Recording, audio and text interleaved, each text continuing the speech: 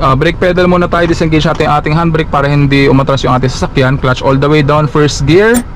Pwede natin gawin clutch then gas method. So ilalagay ko yung ating ah, clutch pedal sa bite point.